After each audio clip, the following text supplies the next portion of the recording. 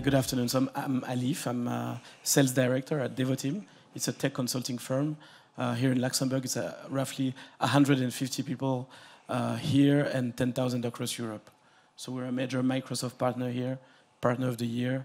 So very busy migrating uh, our customers to the cloud, uh, training them. So this is a topic that uh, that is very close to our heart. Okay. Uh, the, the world has dramatically uh, changed over the past few years, uh, especially since the onset of the pandemic.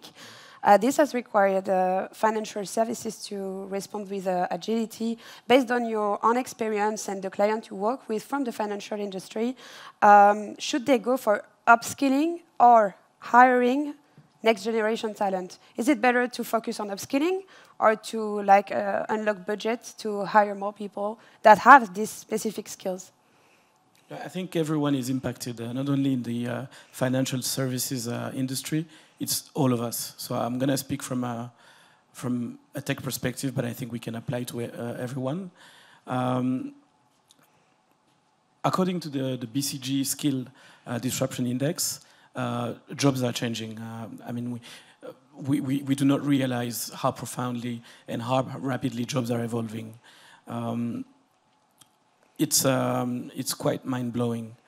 Um, it's affected by technology, of course, but not technology as we perceive it traditionally as, uh, as you know, IT jobs, uh, research, all those technical roles, but uh, it's broader than that. It's, um, if you think of a, a, marketing specialist, for example, an HR manager, um, anyone is having to sort of have a set, certain level of technology proficiency to perform their job. I'm thinking of uh, conducting data analysis, uh, doing digital marketing. You must harness the technology at some level. If you think of uh, visual communications, we all have to use tools such as uh, Microsoft Power BI, Tableau, or even uh, Google Analytics, Adobe Analytics. These are skills that are, are in high demand. Uh, if you think of social media, uh, employers are, are, seeking people that have experience with LinkedIn, with Facebook, with uh, Twitter. Um, so again, in high demand. So to come back to your question about hiring, I really think it's both. So going after the uh, next generation digital talents, of course, but there is shortage, scarcity. We will not find enough. So we will need to reskill our people, upskill them. So in terms of strategy, it's both directions, uh, I would say. That's quite a balanced uh, answer. but it is, it's what we're seeing on the market. Okay. Yeah. And um, when they want to upskill, then their employees, uh, the, the company, should they go for like uh, government help? Uh, should they go to a school, uh, like uh, education, uh, specific program educa of education? Or should they rather like count on their peers and do like maybe P2P um, trainings? Again, it's, I think it's all of the above.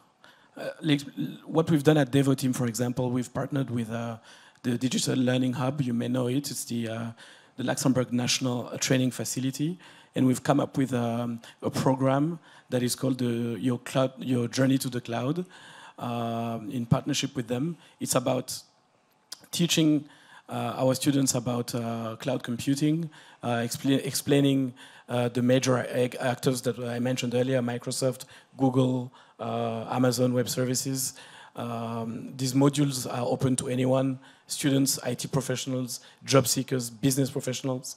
Uh, we teach them uh, how to approach the cloud, uh, DevOps, paramount to IT organizations, to IT departments, uh, FinOps, the impacts of uh, financial impacts of moving to the cloud, etc., and etc. It is a partnership with uh, a, public, the public sector, so it, it's a joint venture and it's working. And what we saw earlier today is also, I think, could apply to this. So it's, it's about networking. Anything, anything works, basically. So let's say um, I would like to upskill my uh, employees and I would like to use different channels to do it. Uh, what are the standard or generally speaking the, the, the basic steps to follow? Uh, what is the process, like the ideal process to enter upskilling? How do you choose? How do you, uh, what is the focus? What we're seeing uh, on the market is that uh, most of the uh, of our clients are facing the same challenges uh, when it comes to these, regardless of function, uh, geographies, or uh, anything basically. It's about client, I mean, hiring, retention, the talent war, learning, upskilling. So the, the needs, I, I would say, um, are two-folded. Uh, you want to make sure that uh, your people are able to harness the technology. I speak from a technology perspective because I'm in that business, but you want to make sure that the, as an employer, that your your employees are able to to basically take advantage of that technology that you you provide them to perform their job. You want to make sure that they are not left behind, that they're trained, that they can benefit from strong adoption programs, training programs. Uh, those can be um, also about uh, they can be technical, but they don't have to be. Um, so, so th there, there, are many many ways you can uh, you can look at this. Um, I would say uh, it's they need to be it's it's technology for people. You need to have a, a human-centric approach because technology is meaningless if it's not there to help us do better at work or at home or easy our lives. So if you have a if you, what we're seeing now is that uh, whenever we're doing programs, whether it's training or, or, or consulting, as long as it's human-centric and that we are addressing our clients' clients, we are always going to be successful because you want to make sure that the learning is provided, the upskilling is provided, so that the technology, uh, the new technology is, uh, is adopted. You, you mentioned when you, you were answering that uh, you talk about the digital learning hub. And uh, we just heard uh, a speech about the newly created uh, Lux uh, L22 uh, Luxembourg, mm -hmm. L22 Business School. what do you think about these new schools um, and business models? Do you think that it, it is adapted to the need of the country right now when we talk about the need for training, the need for upskilling, the fact yeah. that we create those kind of schools here in Luxembourg? Absolutely, absolutely. I think that when it comes to upskilling, training, learning, it's all hands on deck think we should all work together, whether it's the uh, private sector, public sector, joint ventures. It's um, there's too much at stake not to work with one another. So yes, I'm in favor of those. I'm not a huge expert, but I like it, and uh, we see it work with the DLH. So so I'm assuming we can deploy that uh, more broadly. Um, when um, I recruit speakers for mm. conferences, mm. I talk with a lot of people. They come from Luxembourg, they come from abroad. A lot of them came to Luxembourg, and something that is always rising up is they, it, they always say something like, uh, so first I came to Luxembourg for, to work. Uh, I wanted to stay two, three years, but it has been 20 years that I'm here. I don't know if it's the case of someone here in the room, but... Uh, um, Not 20. But. And I mean, it's a fact. People don't think about spending their career in the country, in Luxembourg. The, Luxembourg is recognized as one of the most recognized financial places uh, in the world. And uh, when I talk with a lot of people from many different industries, not only in the financial one, um, they, they are just saying that uh, they were not thinking about staying. And then when they are here, when they, they see the the dynamic of the country, uh, the, the high quality of life, they decide to stay. Um, do you um, promote Luxembourg when you do like ICT training? Do you try to attract talent uh, in Luxembourg, and how do you do to do that? It's, it's every day because the um, I think the lack of digital talents is uh, is seriously hindering our ability to be a tech hub here in Luxembourg. It is affecting our competitiveness.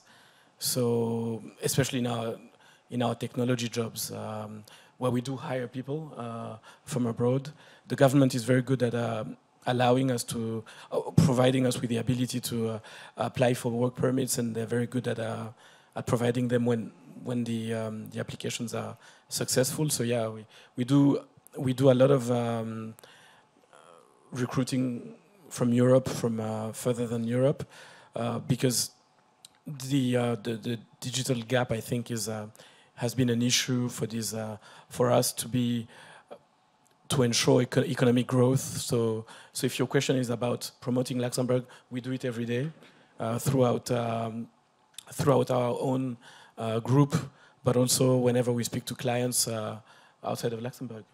Okay. You know, here in Luxembourg, Devoteam has a, a strong um, expertise when it comes to uh, Microsoft Azure uh, cloud computing, the, the Microsoft uh, workplace solutions such as Microsoft 365. So we do conduct uh, projects for our colleagues in uh, from here, uh, Denmark, in Belgium, so they can see that there's, um, although we might be a small country, they can see that we have high high expertise. My, my, last, question, my last question would be, um, in majority, who is the person that comes to your company and say, uh, I need an ICT, uh, an ICT training program? Is it the HR manager? Is it the CEO? Is it uh, the CFO? Uh, generally speaking, uh, who, it's, who come? It's all of them, to be honest, because our clients, when it comes to our training businesses, are it's, it's the whole of Luxembourg. I think we have the, the biggest tech, private tech uh, training facility in Luxembourg uh, out of uh, Windhof, if you might know Windhof. Um, most of our clients are, in, are across all sectors. Our, you mean the, the ones that approach us to for training? Yes. It's when it's not HR departments because it depends on the customers and how organized they are. It's, I would say it's most of the time either the managers, so the resource managers, or the or the HR departments. And um, what is the like um, the cause. Um, the HR manager, they come to you to, to train their uh, their employees. Yes. Is it to like that they say I want to drive performance, uh, I want to uh, upskill uh, uh, my employee because I want maybe to like gain in uh, employees engagement. They ask for training, so we are just answering them, or is it for the benefit of the company? What is the, the main reasons? In our business, the I mean the, the um, the speed of the digital is exponential. So so when it comes to learning. Um, it's really uh, the, the um, it's it's the, the, the speed is quite amazing. So you, you, companies want to make sure they're not left out, that, that they can keep up with the, the, the the, speed of the digital. So it's it's usually because they have pro, uh, upcoming projects uh, that they, they will need to upskill for. Uh, there's also the need to basically uh, ensure that knowledge, man knowledge management remains in house. So you don't want to rely too much on also external actors. Mm. So you want to make sure that your people are able to, to perform their jobs, basically. So it's a, sometimes it's about survival. And so, given the digitalization and the fast pace, mm. what is the top three uh, technology uh, they they want to be trained for? Is it blockchain? Is it uh, Web three? What is the the, the three well, main? There's, there's a lot of talk about blockchain. Um, we, we've had some success with the uh, Artificial Intelligence Academy that we launched uh, four years ago, mm. uh, which was also a joint venture with the government, by the way.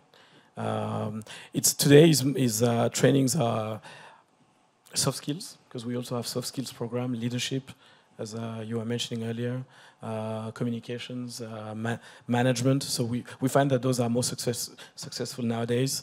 Uh, traditionally, there have been hard skills, uh, uh, technical trainings for IT admins, for developers, for project managers.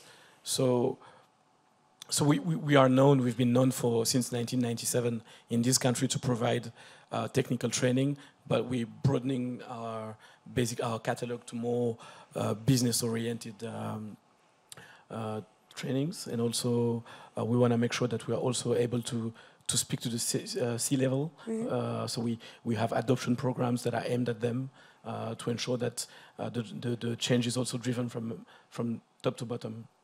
Yeah. Thank you so much, Alif. Oh, thank you. I think it's uh, it concludes the, the session. Thank, thank you. you. This has been fun. Thank you very much.